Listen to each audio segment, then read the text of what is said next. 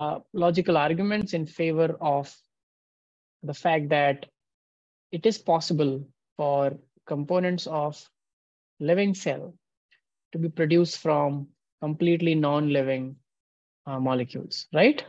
And this is what Urey and Miller achieved in their experiment, in the, in the Miller's experiment, where they could find amino acid sugars, lipids, and all. And we also discussed that the first thing uh, that the, the first kind of living cell will need to evolve is a boundary, right? And that boundary in our cells is made up of lipids.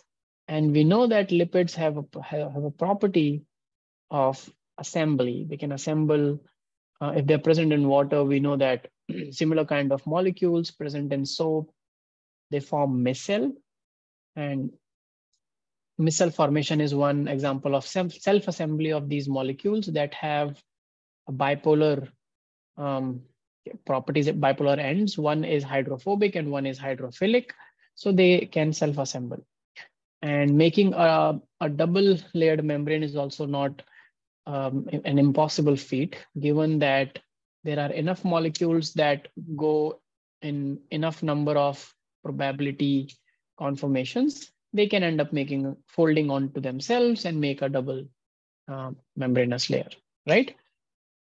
Uh, everyone is clear and everyone agrees and satisfied by these points till now? Yes, sir. Okay. Now, in today's class, what we will be talking about is the theory of evolution that was put forth by the very famous um, naturalist and um, observer of his time, evolutionary biologist of his time, uh, Charles Darwin. So you all must have heard of Charles Darwin, right? What do you know about Charles Darwin?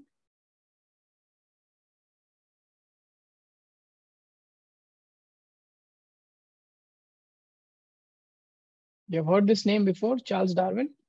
no? Yes, sir. Yeah, okay. So the most famous piece of work of his is Origin of Species. And it's, it's a beautiful book written by him based on his his voyage to uh, to the islands in Galapagos, and he also basically he traveled um, many places through sea and observed many life forms on different islands and gave a theory of natural selection, which is the most accurate uh, in explaining uh, evolution of life forms of very various different life forms present on the earth. How there is so much of diversity on the planet. Now the thing that uh, we are going to talk about first is that before darwin what was the thought of the field. So if we talk about before darwinian era i told you that people uh, we were not thinking from a rational perspective of um, what led to all these life forms. And most of the powerful uh, groups were either uh, religious thinkers or philosophers or the church itself that that that that has driven a lot of early science and thinking and philosophy. But what they were not thinking and what they were not questioning were the facts that were already um, stated as as facts quote unquote in the religious textbooks. So it was believed by most of the philosophers and thinkers of the time that all these life forms that are present around us they are a result of special creation. So the theory of special creation was based on some fundamental ground rules okay?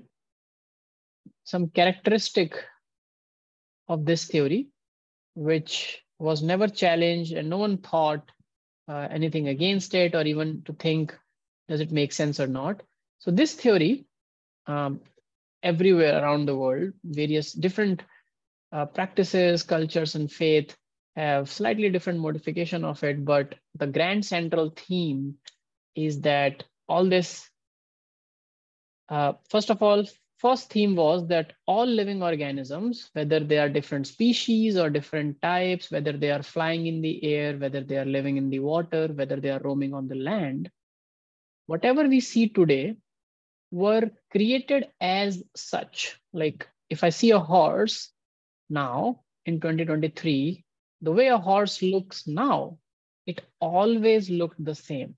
You know, even thousands of years ago, it was the same.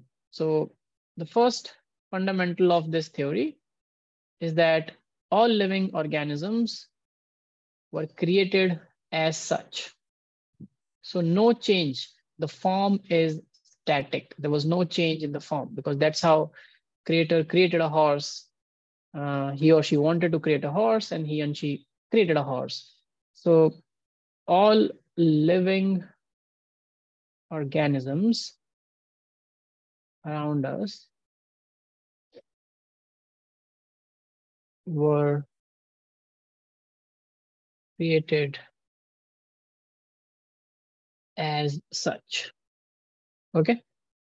So basically, it hints towards the fact that the diversity on Earth, if everything was created as such, like it is present at the moment, and uh, according to this theory, there was a day of beginning and there'll be an end.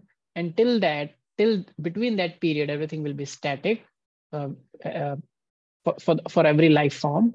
So basically, this theory then tells that the diversity was always the same since creation and will always be the same in the future. So basically, what we are talking about is biodiversity of living forms. So biodiversity is always the same. Or you can write biodiversity has always been the same. Uh, I can just write was here. Biodiversity was always the same and will remain the same in future because according to the theory of special creation, uh, whatever the creator wanted to create, it was done. And now the process of creation is done. Everything is created. So just like a painting is complete, it's complete and nothing is being created anymore now. So it will stay, the painting will stay the same. Similarly, the biodiversity will stay the same was the second uh, main characteristic of this theory. The third thing that this theory said that Earth is a few thousand years old. Okay. So Earth is approximately four to 5,000 years old. Not, not older than that, 4,000 to 5,000 years old. Now, all these ideas were strongly challenged in the 19th century, the beginning of 19th century, uh, which is like when the when the year two, um,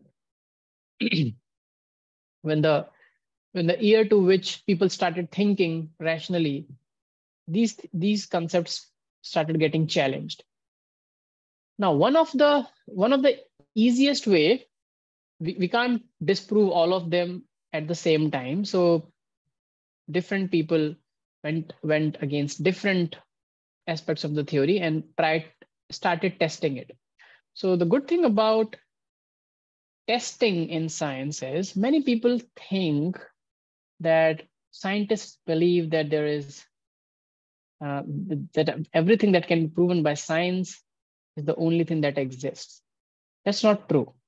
We don't believe as scientists or students of science, we are never taught to be arrogant about saying that see anything everything that can only be proven by science is true there are truths that science cannot prove as of yet so that's very clear if someday someone really scientifically proves there's a heaven it will be a discovery but till then uh, you have to be agnostic about it you can't you, you can't you know uh, with scientific evidence say that it does not exist.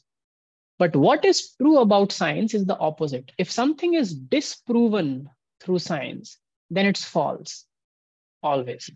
If I can disprove something, like if I can disprove that uh, eating this particular drug or taking this particular drug has no effect on blood pressure by doing tests and proving that, see, there's, sorry, excuse me. Uh, by, by doing tests and I prove that there is no effect on hypertension at all, then it is false for sure. Do you, do you understand the difference, everyone? Yes, no? Is it, does yes, that make sense to you? Yeah.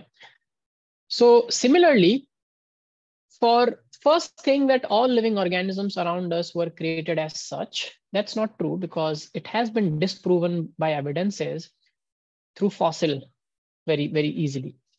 And we, we know, so uh, 500 years ago, there was uh, nothing like a Pomeranian dog. There was nothing like these small pocket-sized kittens that uh, people keep as pets nowadays. Many of these plants, which are also living systems, were not existing on the planet uh, 500 years ago. And a lot of it came through inbreeding, uh, selections, artificial selection, and so on. So all living organisms around us were not created as such. They, they evolved and uh, breeding, artificially breeding and creating new varieties and new, um, new kind of organisms and subspecies is, an, is a proof that if human can do this, do it with their limited power and knowledge about genetics and how to tweak it, then nature, in which this whole evolution has happened over millions of years, can of course create new species. So all living organisms around us were not created as such. And if we take the fossil records of organisms of the past, they don't look like organisms of the present. Okay, and that also disproves simultaneously. So this point was disproved. And simultaneously, fossil records also helped us to disprove this point that biodiversity was always the same. It was not. We know that in the in, in, the, in the past, there were uh, dragonflies as huge as one meter from their tip to toe. Now we see dragonflies a few inches, not more than that. We know that uh, from fossil records that back in, in few million years ago, the largest uh, animal in the water was many a times huge than blue whale, which is the largest animal now because of we, we got the fossils. So biodiversity was very different back then. Biodiversity is very, very different now. And the way planet is going forward in evolution, biodiversity will continue to change and be very different, right? At one point of time, this planet was ruled by reptiles and you, when you dig fossils, you get two layers where you will find more reptilian uh, fossils and very less and very small in size mammalian fossils. So mammals were not dominating the planet, it was all reptiles. The fall of reptiles made mammals come up and take the arena. So whenever there is gap of power or absence of power, something comes up and takes the, when reptiles could not survive, one caveat that reptiles have is that reptiles are cold blooded. If conditions are not in their favor, if they don't get enough heat for their body, they have more chances of perishing. But mammals can survive because they are warm blooded, right? even if they eat a little bit of food they can maintain their own body temperature and survive their organs brain and everything can survive so that allowed mammals to come up okay? And what is the evidence for that? The evidence for that is very simple organism around us which is mouse. How many of you have seen a mouse in the daytime? Very rarely they are active during the daytime. They're mostly active during the night time. And i think tom and jerry has taught us this very well that mouse comes out from their holes in the night time when humans are sleeping and they are very active and look for food and do. So they are nocturnal organisms. And all our ancestors, all mammalian ancestors were nocturnal. They were not um, active in the day because in the day, big lizards, which were dinosaurs and, and, and ancestors of them, were roaming on the earth. So they will just hunt mammals if their mammals were small. If they are roaming around in the daytime when their predators are there, they will be they will be hunted. So they chose a time to be active when predators are not active. So reptiles won't be active in the night. Why? Because night time is cold, cooler time. You don't get energy in your body heat in the form of heat. So you cannot keep your body hot and warm.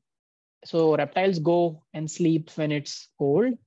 That's why reptiles go to hibernation during winters, but mammals uh, not do not go uh, into hibernation necessarily. Uh, so all the mammal ancestors were nocturnal, and that is very evident with a lot of mammals still. Humans changed this habit because when they started evolving, uh, I'll tell you in during human evolution, when did humans started uh, hunting and taking risks? Not all ancestors of human were hunters or meat eaters. We were very different. Our species was very different. Like our species were not there. The species before us was very different uh, in, in everything that they used to do. But we'll talk about it in the last section. So this point also got rejected because of fossil evidences of flora and fauna, that it was very different back in time. The third point that Earth is approximately a few thousand years old is also the most bizarre thing because as during the 20th century, science evolved and discovered new techniques to date any matter with confidence. How old is that? And how do we do that? How many of you know about carbon dating technique? It, carbon dating sounds like when I heard the word for the first time, I thought, okay, what, what is so special about carbon? And who's carbon dating, by the way? Carbon dating is a technique to date back matter. And scientists were in were actually in love with this technique when they got to know, oh, using carbon, you can actually tell the age with some with some accuracy of very very old uh, even fossil fossil uh, materials. So all the scientists were literally dating the carbon dating technique back then to to figure out uh, truths. So carbon date anyone has an idea what is carbon dating? Anyone would like to speak up uh, anything that you know? We can take up from there. Iram aisha rabia parker what do you think about uh, have you heard or read or in your schools what is carbon dating being discussed or taught to you? No sir. No? Okay. So uh, what happens with carbon dating is we know that uh, there are isotopes of carbon right? What is normally what what what is the atomic mass and atomic number of carbon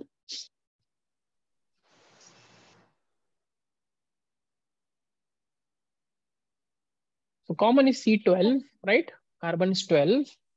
Am I correct? Right. Yes, Nitrogen is 14. But there is C13 and C14 as well, which are very, very trace amounts. And every element or every uh, uh in every molecule or a compound, atoms have a half-life. So for carbon, that half-life is around, I'm not sure if it's around um, a lot like it's 5000 no not 5000 something something years in thousands. So in a very long time carbon 12 converts into carbon 13 in a in a, in a organic matter okay? So if you take any sample from my body and since my body has been in existence just you know few years like as much as my age is which is nothing as compared to the half-life of carbon. So you will not get uh, any, any conversion ratio of C12 into C13, like very, very, very, very negligible. But if something is dead and buried in the soil for like thousands of years, then you take that sample and you try to see, we are not trying to see any organic matter. No organic matter is like, has to be intact, but there will be carbon because the whole body is carbon based. That organism at one point of time had a lot of carbon. So now in that uh, bone or whatever is preserved as fossil, in that we will see how much C13 concentration is present. And by that ratio, we will we can back calculate that how much time it would have taken for this amount of C12 to become C13. And using carbon dating, we can date back um, the age of organisms to very accurately to 50,000 to 1 lakh years. And if we have to go beyond that, then we have scientists have developed another more more uh, uh, fancier and better technique called uranium dating. So the half-life of uranium is longer, uh, and you can you can actually I'm not wrong, it's longer or shorter. But using this, you can go to millions of years back in the past and to very to some degree of accuracy, you can say that this must be the age, right? You cannot exactly tell uh, this is 50,549 years old, let's say. But you can say that it is somewhere between 50,000 to 52,000 years old. It can't be 10,000 or 4,000 years old at all, seeing the ratio. Does that make sense, everyone? This technique?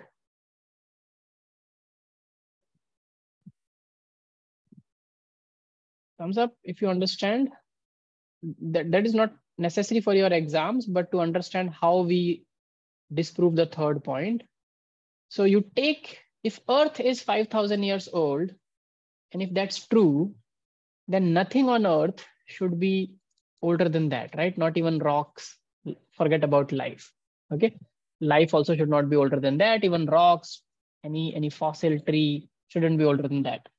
But if you just take rocks that has any carbon in it, and you try to, or a piece of wood which is in, uh, which is fossilized, and uh, if you carbon date it, you will know that there are pieces of wood, like wood fossils or trees, whose age is more than this thing.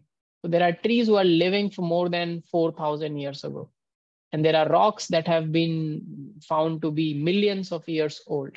So this outright disproves the third thing using science that none of these characteristics which are which are the part of theory of special creation is true. So this was rejected. And now, after all these ideas were rejected, a hunt for finding truth started and people started finding that, okay, what can we prove then? Uh, this is something that's all got disproved. So Charles Darwin came up and he didn't like came up specifically for this purpose, but he was a naturalist. He wanted to find, actually, he started with, uh, and it's a very interesting story. He was he was funded by uh, the king and queen of Great Britain, like the royal, Your Majesty, and he got a ship which is called Beagle.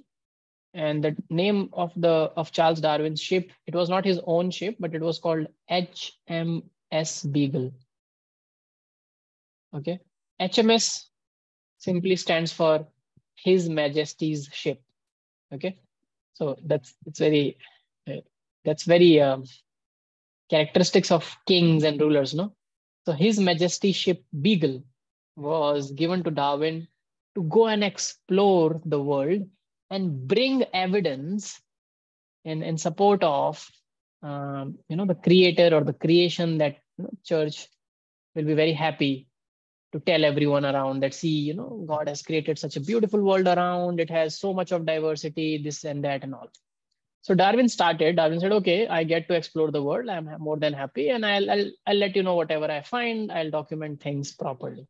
So he went on uh, he boarded the ship and he went around the world he he took many stoppages the most prominent being um, the galapagos island um, and the Galapagos Island were very interesting because there he thought logically and he found evidences to to to prove that actually Sure. yes sorry to interrupt. Uh, No, no, I fine. wanted to know what is uh, a naturalist?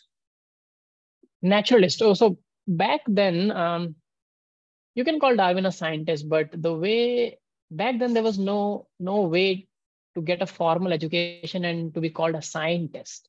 So scientist is someone who does science professionally and who's who's who's dedicated who- whose profession is doing science and finding things or proving things.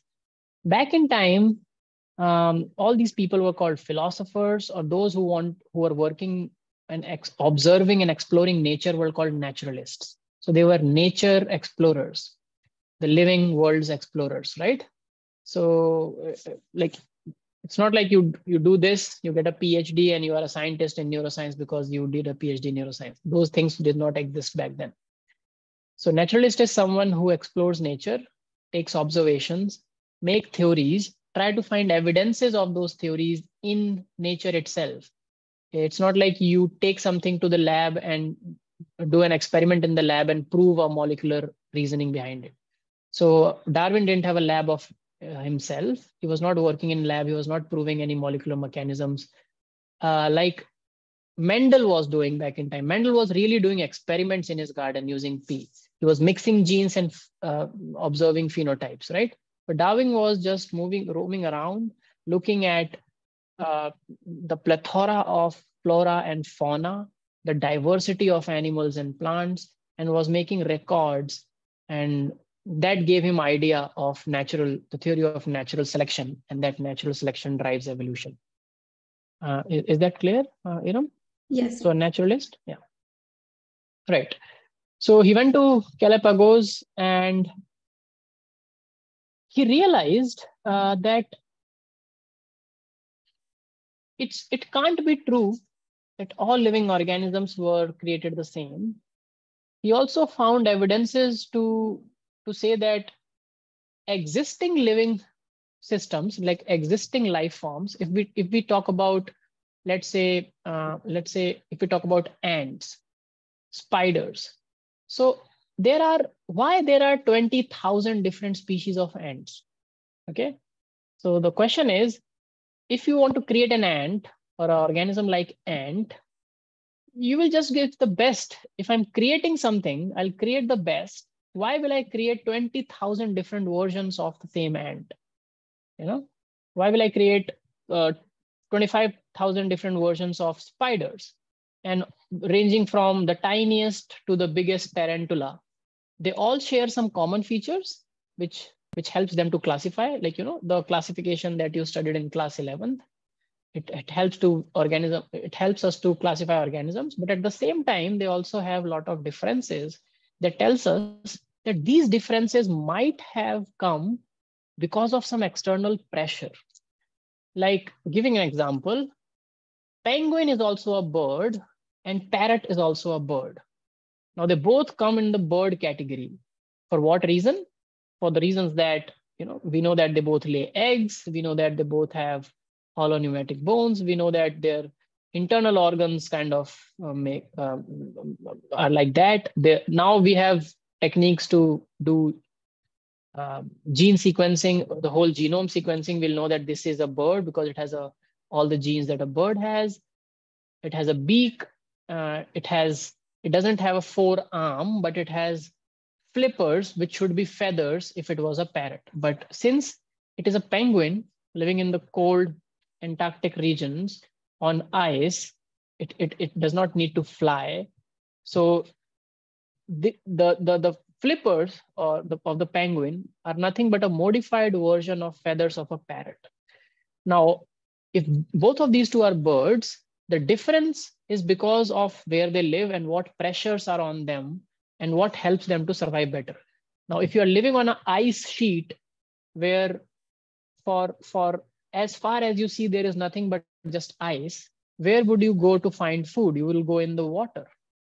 And if you have feathers, that won't help you much in the, in the water to hunt.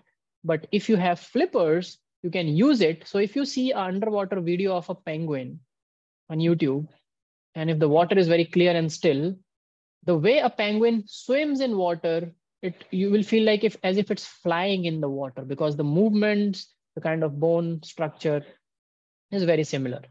But the fact that it's a flipper helps it to wade through water, find food, and and and and uh, survive.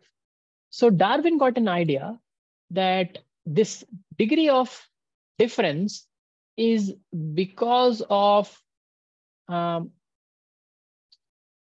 selection pressures. And he also concluded through in his book and in his theory that there must have been organisms in the past that we are not aware of who died and are extinct now and there will be organisms in the future who have who we have not seen as of yet and will evolve eventually like 50000 from now we don't know uh, what kind of of new frog species you will find in an Amazon forest because of some selection pressures under which that forest is is um, uh, allowing the organisms to uh, speciate. So he did he said these two things, and the third thing he said that every life form is gradually evolving. Uh, it's so gradual and slow that we might not see it in front of our eyes all the time, but Darwin at that point of time didn't know about viruses and their evolution. So when COVID started, let me, let me give an example of how fast evolution can work for the simplest of organisms, which is viruses. So viruses somewhere lie at the edge of living and non-living. When they're inside their host, they behave like living. When they're outside their host, they are just like particles. But viruses evolve very rapidly. Okay. Sorry, I lost uh, electricity, but we'll be back in some time. Uh, you all can hear me, right? Clearly? Yes, sir. Yeah. So viruses evolve rapidly. Just within like two, three years of COVID becoming a pandemic and spreading throughout the world, we have, if not 10, 20, we have more than those strains, different strains of the same virus. So it's all COVID, but you, you must have heard of alpha, beta, omicron, theta, epsilon, and so on, right? All these are variants that has evolved when they when they uh, when they go into a host, the host immune system tries to fight back. The virus wants to replicate. Now the virus have to change something in it so that the host immune system it can fool the host immune system and the host immune system will constantly try to recognize it. So the virus has a pressure on it to survive inside the body, which is to evade the host immune system. And this tussle, this tug of war, uh, happens very, very fast because viruses reproduce very fast. Within days, a few hundred viruses in your body can become millions and trillions within days. So their reproduction rate is replication rate, sorry, I should say, is super fast. So the, the chances of mutations, just random mutations making some changes in their genes is also super fast. So within days, months, weeks, years, viruses can evolve right in front of our eyes. If you go to something more complex than virus, which is a bacteria, it won't take just one year, but it will take a few decades. And that we also see in front of our eyes. Uh, before there was penicillin uh, discovered, we were not able to kill a lot of bacteria. When penicillin discovered, it was like a magic drug. One drop, and even in the vicinity of that thing, there will be no bacteria surviving. But just in 60, 70 years, 80 years, bacteria have learned and they have evolved to have mechanisms that can fight back that anti antibiotic, either by degrading it or by flushing it out of their own system, which they were not able to do 70 years ago. So bacteria evolved right in front of our eyes. When we go more complex than that, like insects and things, it takes few hundred years or few thousand years. Uh, for mammals which are complex like elephants, tigers, and all these uh, organisms, it will take millions of years. So does that make sense to everyone? And this is what Darwin said that regardless of what living system it is, it is constantly evolving more complex the system, more time it will take to evolve into something very different from what it was. But the changes are gradual. Even in humans, um, I, I, will keep coming back to humans and uh, coming back and forth. Even in humans, if you just take the data of uh, 200 years of like because biology is not older than 200 to 300 years. People were not thinking in terms of living systems before that. But even if you think about 200 years of humans evolution, you will see significant, small, tiny, but significant changes in human physiology as well, and in the way they they are they are they are now living. In fact, I was just, you know, I was reading a research article that claims that in, in the last 100 years, the mean body temperature of humans have gone down by a fraction of a degree. It's not one degree, but it's like point some degrees. So humans body temperature is falling down. Now, what are the reasons? It's multifactorial, but you can count it, this as one evolutionary uh, thing. And based on how we are using and disusing and how much we are using and disusing, uh, uh, not using, by disusing, I means not using, a lot of our organs and abilities, people have also predicted how future humans, human species will be like. Okay, we have a question in the chat, I guess.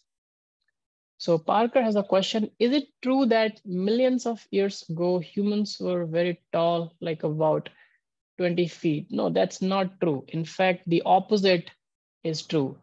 Uh, there has never been a human species or a hominid species that we have found that were taller than humans.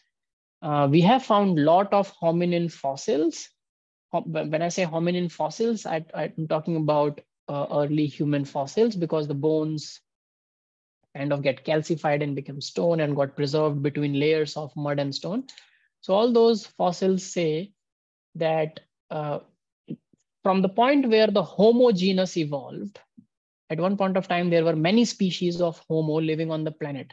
Have you ever thought that we have multiple species of uh, Leo, like every genus? If we talk about the genus of lions and tigers. So tiger is uh, Leo tigris, um, a lion is Leo leo, and panther is Leopardus. So for the same genus, there are multiple species that are living.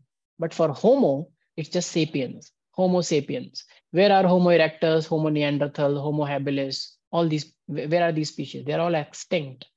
But, and that gives us a misconception that maybe it was linear. First came this, and this is how this is also some somewhat NCERT gives an impression of that first come Australopithecus, sorry, Ramapithecus, Australopithecus, Homo erectus, and it was not like a chain. At, at one point of time, there were some overlapping species that was that were inhabiting the planet at the same time. So there could be Homo neanderthals and Homo sapiens at the same time, overlapping for a brief 10,000 years. And whenever there will be two of the same species, same um, genus, they will have similar feeding habits, similar living grounds. If you keep one tiger and one lion in the same forest, they will compete for the same gazelle or zebra, right? So either they will evade each other, they will mark their territories that I will go there and not go there because the lion goes there and something like that, or they will have a conflict and they will fight. And the stronger one will win. And that is what happened. Homo sapiens, we are the reason that all other Homo species are extinct. We outlived, we outnumbered by rep reproduction, we outnumbered, and we were we outsmarted them. Our warfare strategies were better. But what Parker is asking that millions of years ago, so millions of years ago, there was no human species. There was no Homo. Okay, like three, four million years ago, there was no Homo genus. I'll tell you exactly when, how back we find in time evidences of human evolution. Humans are just like a snapshot in the history of life on Earth. We are, if, if I say that the history of Earth is like 24 hours of a clock, the existence of human is fraction of a second. It is not even one second. So we are very recent and we have evidences for that, but they were never taller than Homo sapiens. Okay. Uh, they were in fact very short, like three feet, four feet. Now we have sapiens as long as seven feet, eight feet, even the longest Homo sapien is nine feet, but they were all very, very short. And th there is a reason for that that we will discuss during human evolution. There's a logical reason for why um, um, when Homo evolved, they were shorter and why longer Homos could not survive. So we have not found any evidence for that, right? All the evidence support that they were shorter humans. Is that is that okay, Parker? Does that answer your question? Yes. So yeah. yes, uh, my, I have a uh, question. yes, if, yeah. Go ahead. Uh, yes, sir. So it it has been um, argued that human evolution has uh, stopped because humans now have adapted uh, environmentally as well as culturally, and it has also been uh, validated by most of the scientists that there is there has been no uh, biological change or evolution nearly around forty thousand to fifty thousand years ago.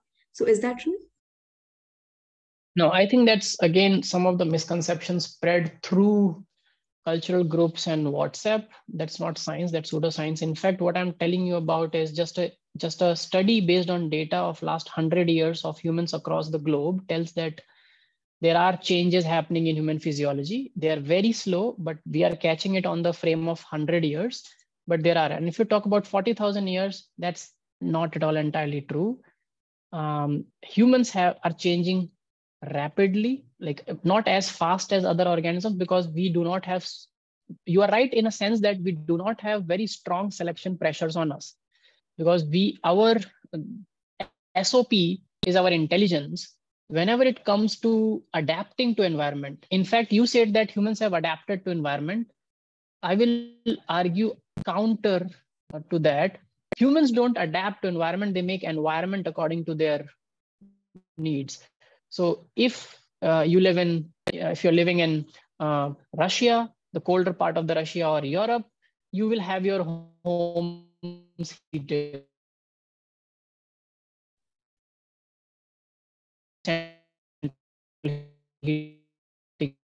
facility. If you are living in in very hot, get air conditioners in your environment, keep surrounding cool. Camel cannot do that. So camel has to evolve to withstand heat so that it can survive in a Gulf country. But oh, sorry, you know, missing my voice is cracking. Let me stop my video for some time. Is my voice okay now? You know, let yes, me know sir. when it is fine. Okay, so I'll just repeat what I said. Yes. Yes, yes, I'm repeating. So I, uh, what was the last thing you heard clearly?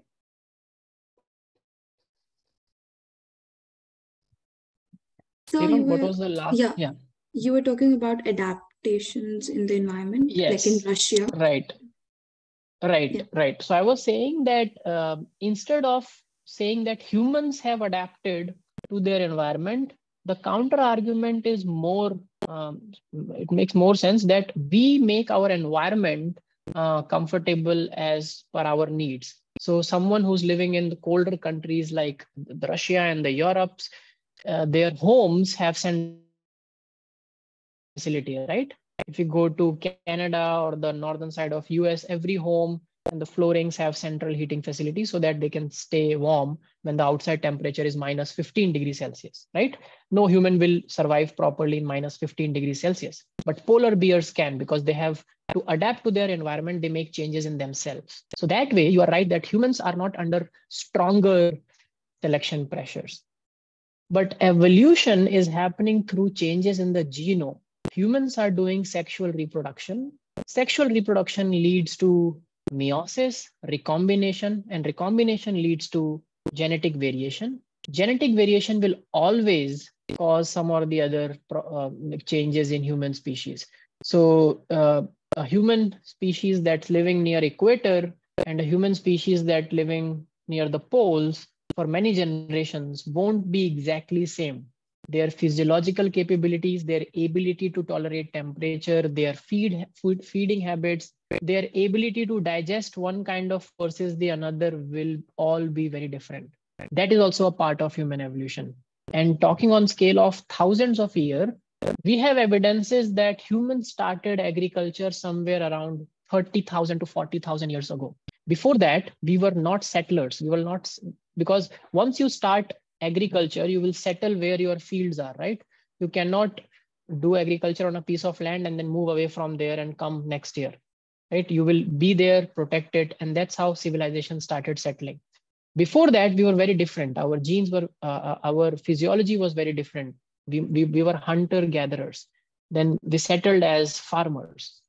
So 40,000 years ago, humans were living in caves and they had very different physiology from what the humans that live in cities or even in rural areas today have. Uh, does that make sense? You know, so that's not true that humans are not evolving. Humans are evolving. Okay. Yes. Okay. Um, so anything that that's that says that you know scientists have proved any any statement that starts with this uh, is more dubious. you, you shouldn't just believe in it because it says so it's like NASA has proven that the whole cosmos sings a particular song or, or hums a particular word. But how? How has does NASA has no other job first, first of all? And if this is important to find that whether, so it's true that there are there are sound notations that you can give to every planet and galaxy, but it's not that cosmos sings something that we know already or is or which is in my religious textbook or someone's religious textbook. So people when they use science to prove that see my beliefs are superior because they are backed by science that is the first thing that they should not do. See, your beliefs does not have to be backed by science remember we, we started this chapter saying that if i respect my father that doesn't have to be backed by science and evidence right I will continue to respect my father because he's my father. And for that, I don't need the support of science.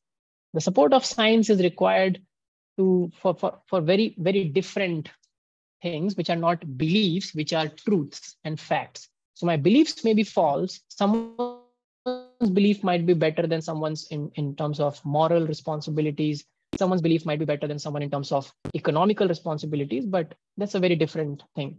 So whenever you get some message, such messages or facts, try to think logically that does it make sense? Has it been through rigorous scientific uh, criticism? Is this method uh, the way to do or to prove this? Because many things we just hear, right? And then it it it just goes on as Chinese whisper. Anyway, so coming back to HMS Beagle, uh, very good questions though, both from Iram and Parker. Thank you so much for bringing those in. But uh, you figured out, you understood what Darwin said? That just write down a few points, what Darwin concluded. So write down. Charles Darwin concluded, just bullet points. You can write bullet points and say what he, he, he concluded. So Charles Darwin concluded that existing life forms, existing life forms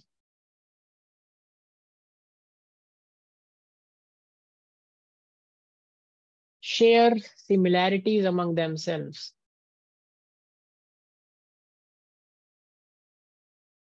Share similarities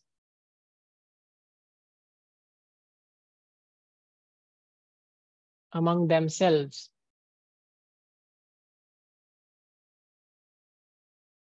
but they also share similarities, but they also share similarities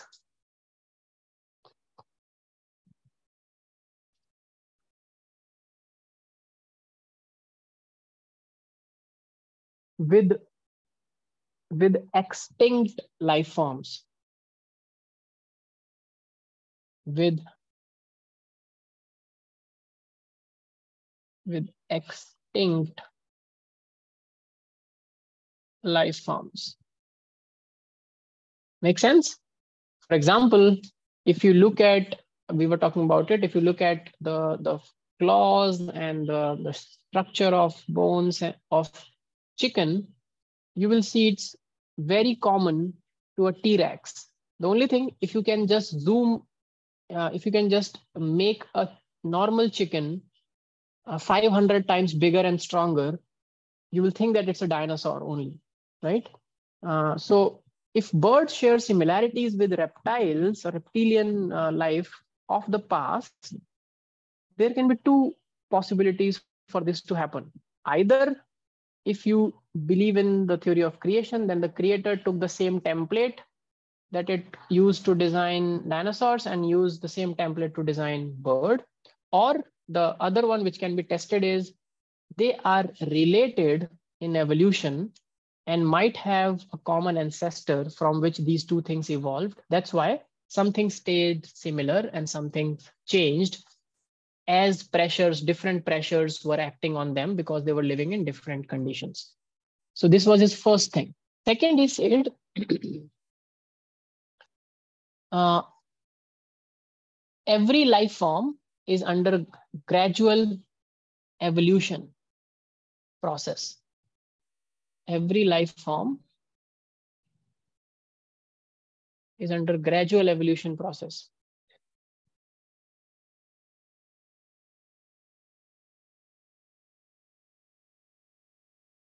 And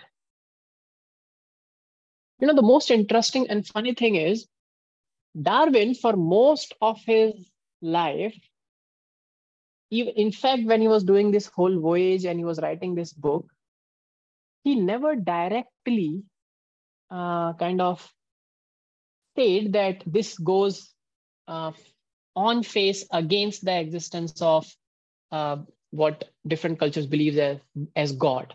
So he never defied that because he said that science, that's not the job of science to defy something which which we cannot defy by you know uh, what we can say by evidences. In fact he was a believer for most of his own life when he was doing this work and finding out links between organisms in evolution.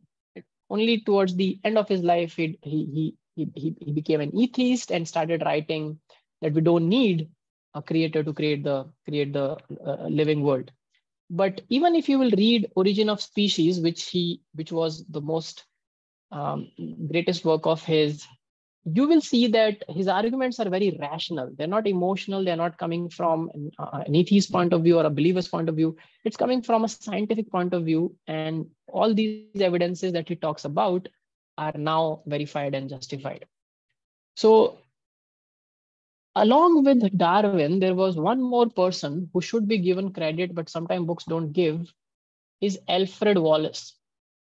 Alfred Wallace and Darwin were contemporaries and they were working on similar lines to find the hidden truths of natural world and how or how different kind of species have come up and how do they exist were they existed forever or something so alfred wallace again another naturalist he worked on the archipelago uh, island the malay archipelago and he also came to similar conclusions in a very independent research of his. So it was not just one person in the whole world saying something about natural evolution. It was also Alfred Wallace. And when Darwin got to know of Alfred Wallace's work, and Darwin knew that he, he, has, he has to publish and he can publish, but he also gave uh, due credit to Wallace and he told Wallace that let's publish together. Let's tell the world what we both figured out. So Alfred Wallace wrote a essay, an article on, on population evolution um, of organisms that Darwin liked a lot. And it, he also included many aspects of it in his own book with due credits. So that is something very good about, you know, scientists back in time.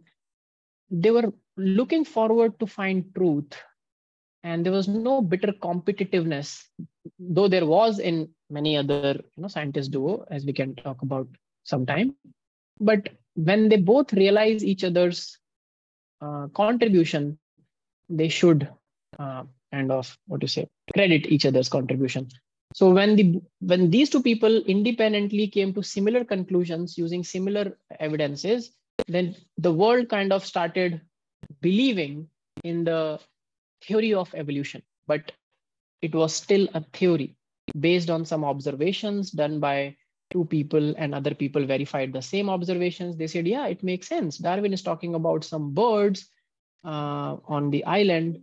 So you know about Darwin finches. We will talk about you. Have you heard the word Darwin's finches? Yes, sir. So finches are small birds that Darwin found scattered throughout different islands of, of uh, the, uh, the uh, Galapagos. And he observed something very crucial between these birds, which, which make, which uh, kind of made him conclude that all these birds have evolved from a common bird, like a common species. Okay. And how did he do that? By just observing their feeding habits, their living habits, the pressures that uh, are on them and why they have they have they have very subtle changes in their beak shape and their body size and that that explains their diet their uh, their habitat and what pressure natural selection pressures were on them and that was a very very uh, amazing thing and it that whole thing became famous at, as darwin's finches uh, theory but still we need proof right as i told you science does not just believe uh, even if it accepts it keeps looking for evidences to prove or disprove it so just because darwin said it doesn't make it true. So let's go and talk about what are the evidences of evolution. Okay, and this is something we will spend some time on. Most of all the time of today's class will be spent on this. What are the evidences of evolution?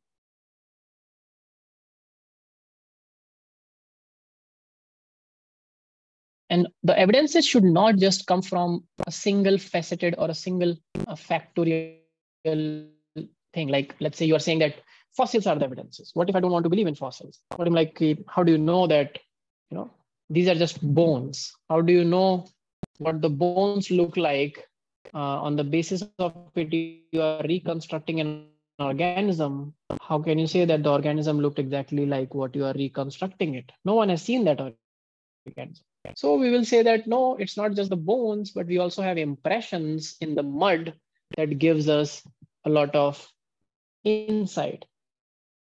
The a skeptic person can still say that no i don't believe it the impressions are not clear which scientists found from ice sheets so if something gets trapped in ice sheets during an avalanche or something like a mammoth, uh, you have seen Ice Age. All of you have seen Ice Age, the animated yes, movie.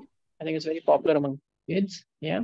So in Ice Age, you know that there are the ancestors of elephant were very hairy back then in the Ice Age. They, they were called mammoths, woolly mammoths. And they have um, very, very long tusks and very big, huge fur covered body. And their ancestors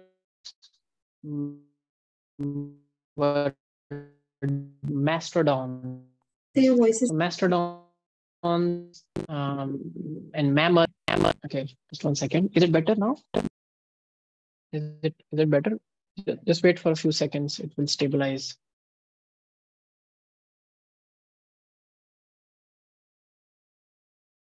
Is it better now? Yes. Yeah. So I was saying that uh, uh, scientists have found a baby mammoth preserved in ice. And when something gets preserved in ice, it does not degrades. It does not, you know, perishes. So this fossil is actually trapped in time and in ice, like it's cryopreserved. It still have all the hair. Everything organs are not uh, degraded. And you can say that see i found an organism from prehistoric times as it is not just the bones. But let's say someone is very dismissive and says that i will not believe in fossils. Give me something else so you should know that what are all the different evidences of evolution so in today's uh, in this part for your syllabus, what I'm going to talk about are evidences from present time, not just in fossils. So first evidence is the fossil evidences, right? Um, um, so write down. First is fossils. Fossil evidence.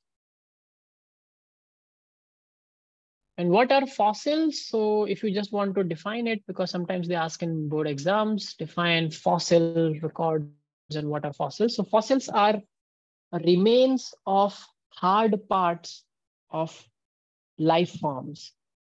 So all the softer parts like skin, tissues, muscles, organs, hairs, and and and um, and these soft soft parts will always be degraded when organism dies and it's buried. But if the organism is trapped, let's say in, in something um, like between two rocks and the rocks got buried. So the harder parts, which are like bones, which will not be reached by all the uh, degrading agents, like all the detritivorous, they will not reach there. The rock around it will solidify. And millions of years later, you will found that big rock, you will dig it and you will find that, oh, there are bone structures inside it that you will arrange it and you will find that, oh, these bones look like something like a horse, but those will be ancestors of horse back in time. So you know that horse evolution is also very well studied. Nowadays, horse have hoofs, two hoofs, right? back in time, horse evolved from organisms that used to have three toes, three toed, and four toes before that. From four toed orga organism, it evolved into a three toed organism, it evolved into a two toed, and then the hoofs came, which we have in the current horses, uh, present horses. So those are fossil records. So write down rocks um, buried in rocks buried in rocks contains evidence of life forms buried in rocks are present evidence of life forms or contains evidence of life forms that died that died long ago that died long ago when that rock layer was being formed when that rock layer was being formed and what do i mean by this is if i'm digging in ground and i reach a layer where i start finding similar kind of fossils so that tells me that that layer, because the crust of Earth is very, very dynamic. Layer keeps forming and going down and up. How many of you know, and you will be surprised if you don't know, that a major portion of Saharan desert and the African region was at one point of time, today it is a desert, at one point of time, Sahara was seabed. It was at the bottom of the sea. How many of you know that? It's very difficult to imagine a, a desert, which we see in front of our eyes now, big region of land, to believe that it was at the bottom of the sea, right? Because these tectonic plates are moving. So at one point of time, India was not where it is, like as a as a land mass. It was way down and it was very close to Africa and Antarctica. But all these sentences, how does they make sense? Uh, are you all hearing me clearly? Because no one is responding. Yes. Yes, sir. Yeah. So if I say that Sahara was sea bottom at one point of time, some part of it, what evidence would you like to have to believe in this statement? Or you will say that it is not at all possible. I will never believe this statement. Anything, if I tell you, then you will believe in it.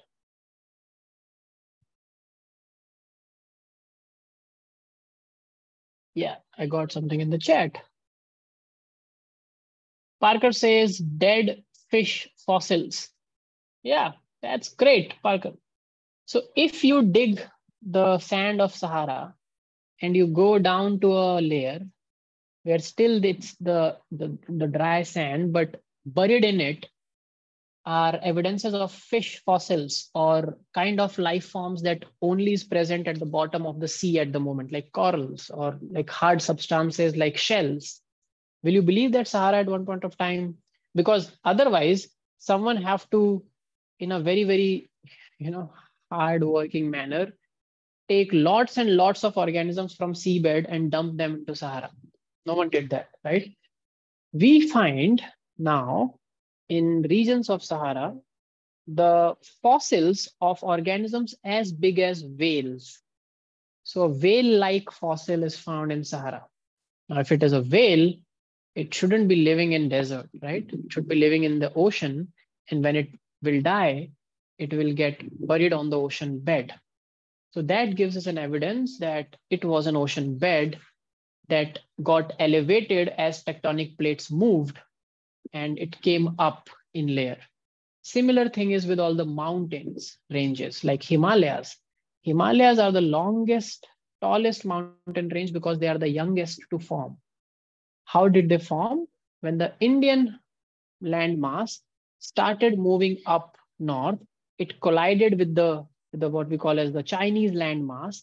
And because two things collide because of pressure, the, the immediate layer that collided will rise up you know, it's a distortion.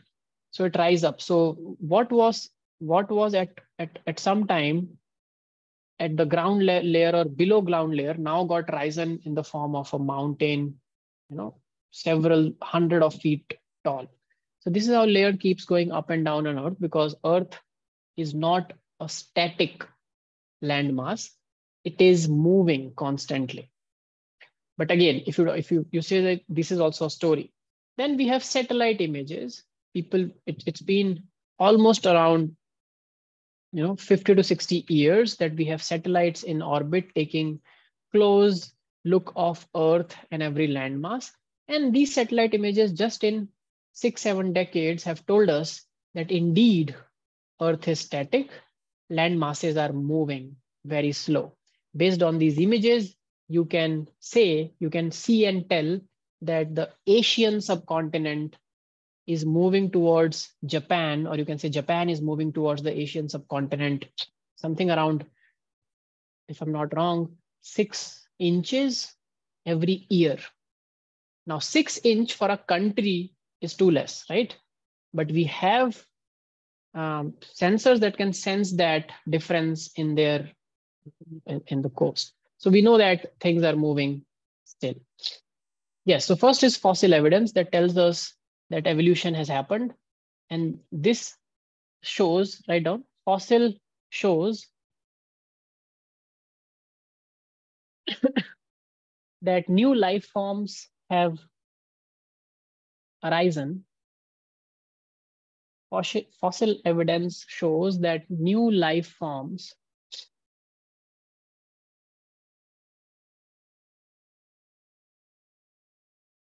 new life forms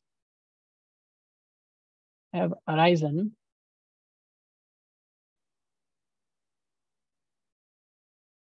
from from previous life forms at different times in the history.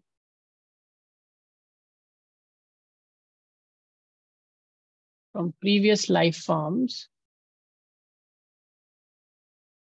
at different times in history. And this history is biological history, not the history that we study in books, the medieval king's time. It's millions of years time frame. So this is first thing. Yes. Go ahead. Uh, so uh, there are type of fossil called as compression fossils. These are the excreta of old organism. So we Mhm. uh, Yeah. kind of uh, get to know how old is the organism um, by this fossils. But how Right. do you like uh, excreta will degenerate within the soil, right? So how do you Right. obtain excreta? Exactly. So that's a very good question. That's in in fact that that applies to everything. So when we bury our deads, humans, when humans bury uh, uh, their deads, uh, humans have been burying their dead since very long, right? But if you bury something, someone, uh, and you go back to the same place, that same cupboard, and after let's say 100 years, and you dig, you will find nothing, right? You will not Yes. find a very well preserved skeleton and say that, oh, this is a fossil. So, fossil, that's why, and there has been millions and trillions of organisms dying, but we don't find millions and trillions of fossils. We find a handful of them because it requires special conditions for something to become a fossil. How? Let me tell you. So imagine that fossils are only formed when a living form, when it is dead, before the dead body gets enough time to degrade, it gets trapped between layers of soil that gets hardened over time. So like calcareous rocks, rocks that have higher calcium content or magnesium content, like they can, if something gets trapped, then it will be it will be protected from degradation. Now, if to give an example, imagine like a tsunami, condition of a tsunami, right? So sea organisms during a tsunami or an earthquake die suddenly because of things. They fall in some pitfall and die suddenly. And let's say a horse died in a tsunami, there was a break in the earth crust. The horse fell in the pit, died, and just on top, the moment it died, it fell on a rock and a rock fell on top of it and it got squished between two. And because of sheer force of soil and everything on top, it stayed there. It got just, it will be like pressed like a paper, but it will stay there, right? Or get embedded in some parts of the bone or the soil. Over time, because this was a sudden, it got trapped. After thousands of years, when you will dig that part of earth, you will find these bones trapped because they have not, they did not get enough opportunities to degrade. You keep any bone. There's nothing special about dinosaurs' bone and human bones. The, the human fossils that we find, we always find them, you know, in like caves, in places where like, let's say human ancestors were living in a cave and that cave was a part of a larger water system um, underground water system. It collapsed because of its sheer weight and you know organisms just got trapped in it and could not get decomposed. We don't find otherwise we we would have found human bodies everywhere. You dig any ground any battleground. Do we when we dig battleground we find swords we find metals but we don't find human bodies human bodies were also there no? They died. Someone was holding that sword. But sometimes we find proper burial places where in a proper manner dead bodies were kept within two rocks like mummies the culture of making uh, coffins of stones and putting well preserved mummies in it. So if similar something similar to that happens naturally that is a natural fossil.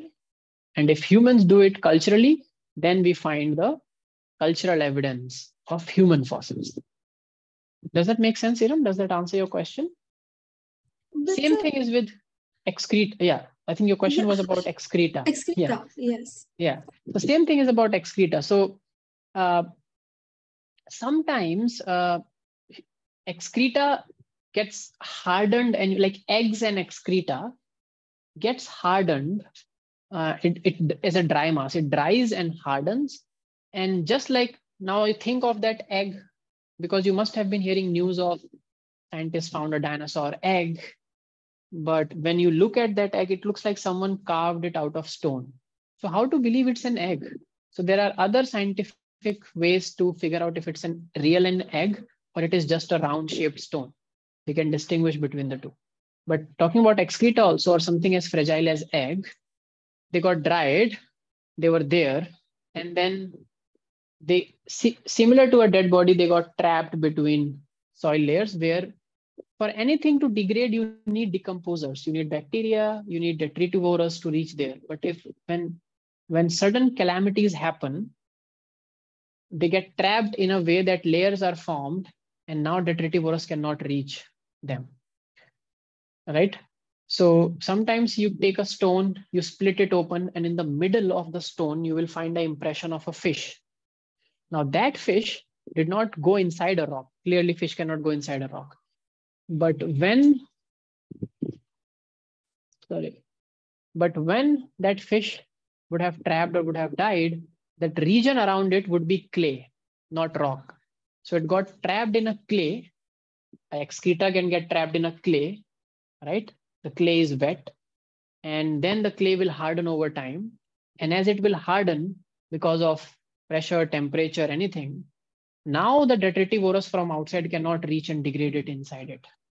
So it's like pickling, you know, naturally it got preserved. And it, it will not happen for all the excreta always. It's just some very lucky excreta that got preserved as a, as a fossil.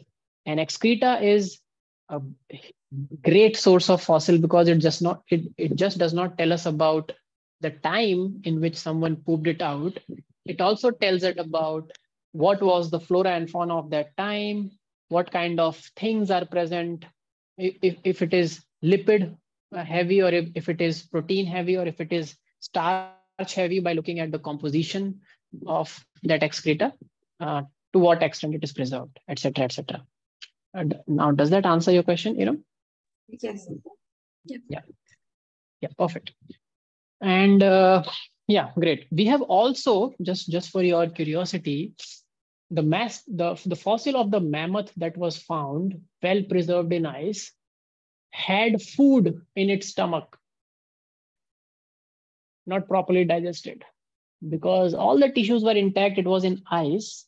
It's like you, you bring meat and you keep it in your uh, freeze freezer. It was like that.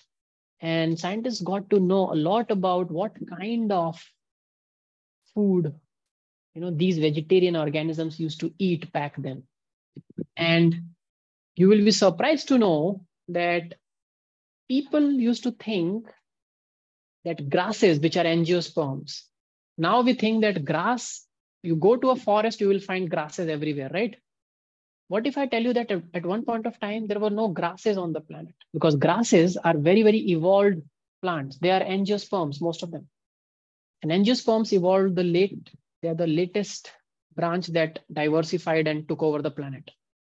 So at one point of time, planet was grass devoid. There were ferns, bryophytes, pteridophytes, other kind of plants, but not grasses. But the, the debate again started with some evidences suggesting that we used to think that grasses were not present up until some time, but it shows that you know grasses might have evolved a little earlier than we think because evidence are revised. Does that make sense you know because of food. Yes. Yeah. Great. Good question. So fossil evidence is first thing but it's not enough in evidence so scientists went on to think more and more and they also realized that there is something called embryological evidence, which is present in every embryo of present life form, like high organism embryo. So embryological evidence of evolution. Now what it says is, if you, so we will, we will, I will show you some evidence pictures that is there with me in, in the drive. If you just give me one second, I can pull it out. I'm stop. I'm stopping the sharing for some time. Basically, this theory tells that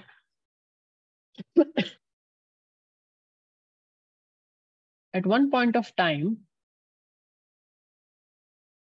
organisms had a common uh, connection, and that connection still is reflective in all our embryos of higher.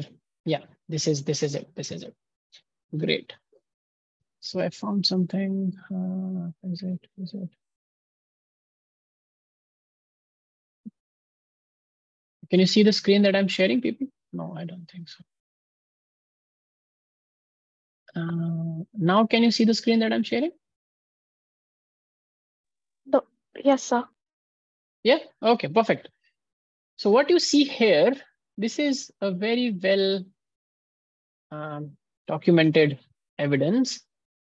So these are all the these are all early stage embryos, which is which is in the first row. And if I just show you the first row, now look at this, just the first row. You all can see just the first row. People, yes, no? Yes, sir. Yeah, look, it starts from fish. In classification, you know that five kingdom classification. In that, the vertebrate, uh, when you go to vertebrates, within that, you see that the fish are the earliest uh, of the organisms that have a vertebral column, followed by rep amphibians, reptiles, then birds, and mammals, right? So whether it is a fish or a amphibian and reptile or a bird, which is chicken, or a mammal, which is pig, cow, rabbit, and human. Do you think that all the embryos in the early stage look similar to each other? If I give you a pig embryo, a early stage pig embryo, will you be able to tell me that it is different from a cow, a rabbit, human, or a chicken embryo? No, right? No, you can see similar features like this head bulge. It's present in a fish, a tortoise, but the final product of a fish is very different from the final product of a cow. Like see all these features are same.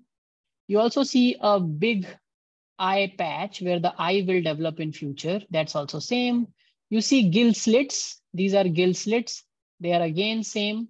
Even in organisms like human who do not have gills, have gill slits in the, their embryo. Now, why is there a gill slit in a human embryo when humans never lived in water? None of our ancestors lived in water. No human species live in water. There is no underwater human species. We breathe through lungs. Then why our early embryo, early stage embryo has gill slits? Why our early embryo has a tail bud? So you can see all these first stage embryos have a tail bud. In fish, there is no tail, but there is a fin. In salamander, there is a tail. In tortoise, there is a tiny tail. In chicken, there is again no tail. Pig, yes. Cow, yes. Rabbit, yes. Human, no.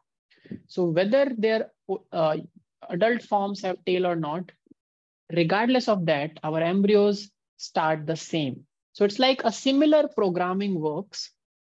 You know, you start with the baseline code, and then as it prog sorry, uh, sorry, as it progresses, now let's come to stage two. So from early to a middle stage embryo, you will start seeing some differences now. The fish looks start to look more like a fish, but still the rabbit and the human look very similar because humans are closely related to rabbit and very distantly related to fish. So even in their embryos, the organisms which are very distantly related or not related will distinguish first from each other. And as you go to third stage, now you can see start making some differences between a human and a pig versus a chicken. So a beak-like structure comes in chicken versus a nozzle-like structure with some hoof starts developing in pig. A tail comes up. In humans, it's opposite. So see, in case of a in case of a rabbit this tail bud continues to grow. In case of a cow also it continues to grow. But in case of human it starts to digress. So some signaling is happening. It had a tail bud but since humans don't have tail so that tail so here is a tail for uh, rabbit here is a tail for cow but there is no tail for human. But we had that structure. And by the time uh, babies take birth we see very different organisms that take birth as com uh, compared to what they used to look in their early stages of embryology. So this is another evidence of evolution and it was proposed by Ernst Haeckel. So Ernst Haeckel observed all these embryo, embryonic stages, to, which is common in all vertebrates. So studied just vertebrates. These are all vertebrate embryos. And he said that there are features present in the embryo that are absent in the adult. And these features um, um, might, you know, a kind of not directly, but in an indirect manner might point towards our common lineage. Okay. Ernst Haeckel was not very, very rigorous in his in his uh, assumptions, and he concluded that uh, embryos of all vertebrates, including human, develop something that they don't need first, and then they remove it. But that was found wrong. We only have gill slits in early stage embryo. We never develop gills. Okay. Even though a human baby inside the womb is all surrounded by a liquid around it, but even then we do not develop gills at all. We do not develop tails at all. But our embryo, first stage, early stage embryos have all these features. So he was wrong in that part, which was disproved by another scientist called um, um, Carl von Baer. And he said that embryos never pass through the adult stages of other animals.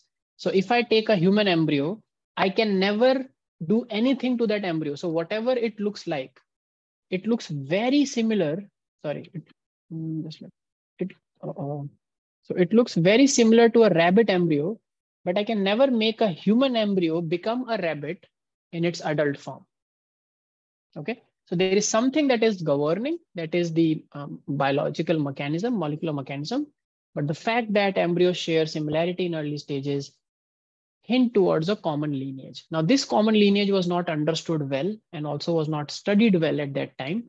But now we have evidences of comparative anatomy and morphology. Uh, where does these common features come from? And that we will do in yeah next class because we are a lot ahead of our time. If if anyone has question, they can stay back and I'm happy to take questions for as long as you want.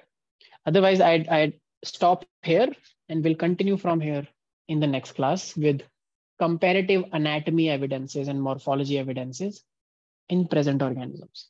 Yes, questions, please. Anyone has questions? I, th I think yes, I heard Iram. Yes, yes. Yeah. Yeah. So all the embryos are actually the same, right? So uh, how do you prove that which ancestor had come first? Uh, right. So if I understand your question correctly, let me repeat it. You are asking that if I take a fish embryo and if I take a um, um, um, rabbit embryo, how I am saying that fish evolved first and not rabbits. Is Yes, that your exactly. question? Exactly. Yeah. Okay. So for that, we do not rely on just embryos because as you said, embryos look very same. Even a human embryo looks like a rabbit, right? And we know that rabbits have been around much before humans, like wild species or like, but how do we know that? In present world, we have other ways to figure it out. One is we look at their anatomy when they are all developed and adult. So a fish has a two-chambered heart, which is primitive as compared to a four-chambered heart that a rabbit has. So a two-chamber heart cannot keep oxygenated, um, uh, you know, uh, no, it keeps oxygenated and deoxygenated blood separate, but it cannot uh, efficiently, uh, you know, divide the blood flow coming from the top body or the uh, bottom body. It cannot send it separately to lungs to get oxy, uh, oxidized like humans or rabbits can do. So that is one feature that tells us that fish is primitive. Second is we look at uh, we look at the genes that that they have. Now we can do genome sequencing and we can see that the kind of genes that fish has. Suppose uh, something came first, okay? So and something evolved from it. So if B evolved from A, then B will have some features that A also has, right?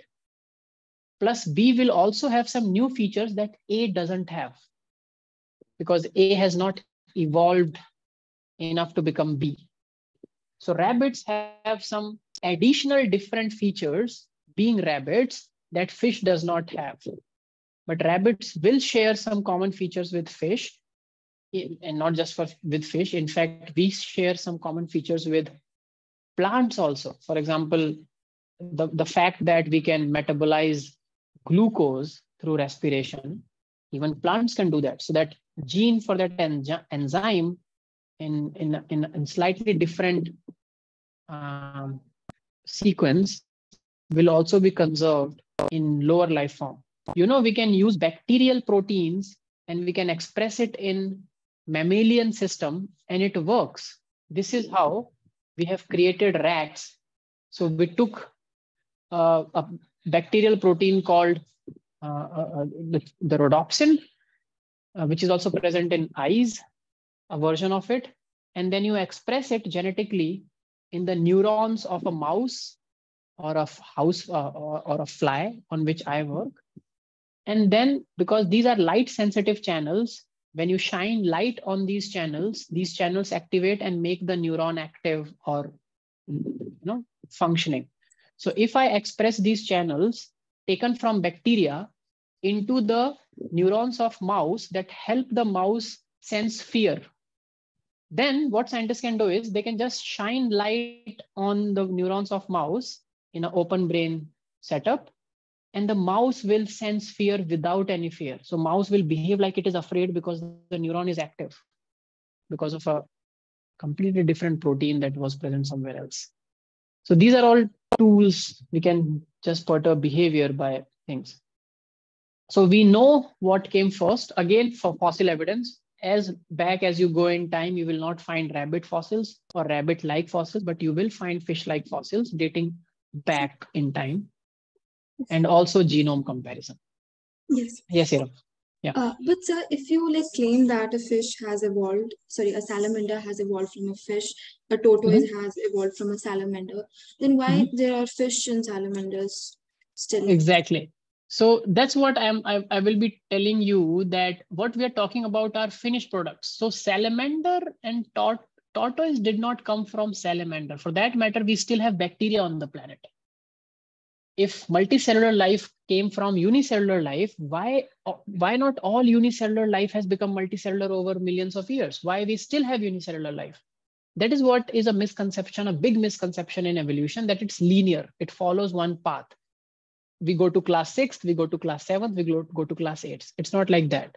Tortoise has not evolved from salamander. Salamander, tortoise, human, rabbits, cow have evolved for the same amount of time on the planet.